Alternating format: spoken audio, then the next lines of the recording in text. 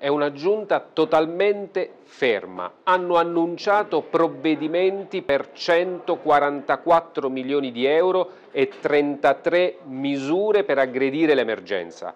Hanno voluto provocatoriamente chiamarle norme cura Abruzzo, il risultato è che dei 144 milioni di euro solo 12 milioni sono arrivate nelle tasche dei cittadini e per altri 10 si è attivato un fondo rotativo di 5 mesi per i consorsi di bonifica.